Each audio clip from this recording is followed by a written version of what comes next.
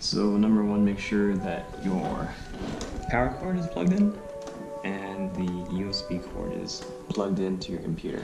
And then you're going to want to download the driver that is going to be in the description. So you're going to load the driver. You're going to look for your operating system. For me, it automatically detected Mojave. We're going to go to 900F Mark Scanner. Select download. Now this is downloaded. Open it up. Double click on this thing.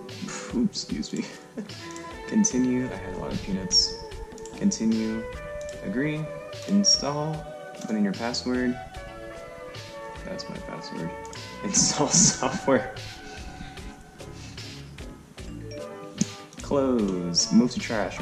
Okay, so then now you can close this out. Go to your applications, go to Canon Utilities, IJ Scan. Utility right here is what you're going to open up. Open that up, and here is your app.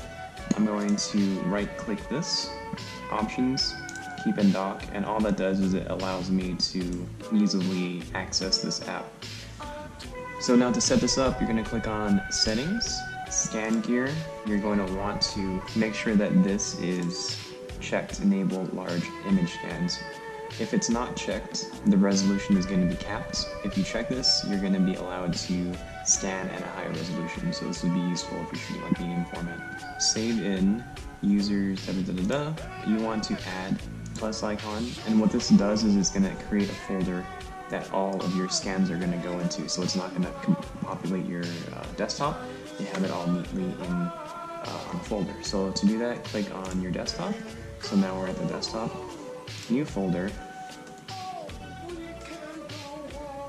CanoScan 9000 F. I just like the 9000 actually. And then we'll create that, and that will create a folder here. And then from here, we're in this folder now. We're gonna say open. Okay,